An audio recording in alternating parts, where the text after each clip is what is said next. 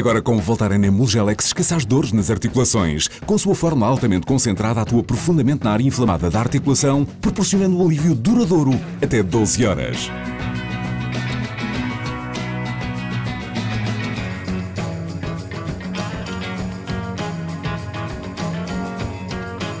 Descubra a alegria de viver nos pequenos movimentos do dia a dia.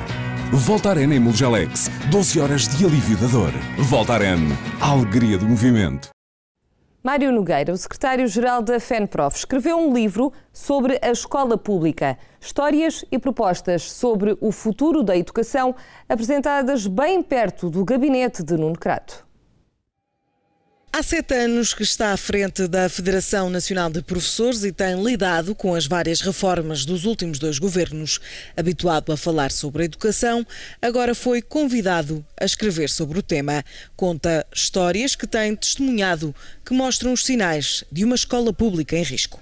Uma forma descuidada, incompetente, como abre um ano letivo e que leva com que muita gente diga: Pois é, lá nos colégios já está tudo resolvido. Isto faz parte também, integra-se, ou pelo menos contribui, ainda que não seja deliberado, para este ataque à escola pública, não é? Uh, os mega agrupamentos, aquelas, a alteração dos currículos, a, a forma como os professores são, estão instáveis nas escolas, mudam todos os anos, é, tudo isto faz parte de um processo que tem alguma coisa de economicista, ou seja, há medidas que foram tomadas porque importava gastar menos, mas há medidas que foram tomadas porque existe uma ideia de escola pública que não é a escola que tem a matriz democrática que a Constituição consagra. Em 90 páginas há espaço ainda para apresentar propostas. Propostas que vão no sentido do reforço da ação social escolar, que possa de alguma forma compensar as dificuldades acrescidas que as famílias hoje têm.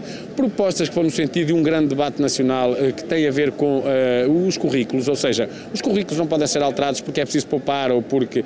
Não, tem que haver um debate, porque os currículos dizem respeito a todos, nem é ao governo A, B ou C. É uma coisa que tem que ter continuidade, que tem que ter uma discussão de toda a sociedade. Uh, por exemplo, a questão da educação inclusiva, a educação especial, não é? Evidentemente numa escola pública que dê resposta a todos tem que estar preparada preparado para dar a todos, mesmo que tenham diferenças. Garante que o livro é dirigido a todas as pessoas e não só à comunidade escolar, mas há um leitor especial para Mário Nogueira. Espero que, sendo para todos, também chegue aqui aos responsáveis da 5 de outubro, porque afinal de contas são eles talvez os que mais precisam de perceber que há alternativas e que as suas políticas não são inevitáveis, não é?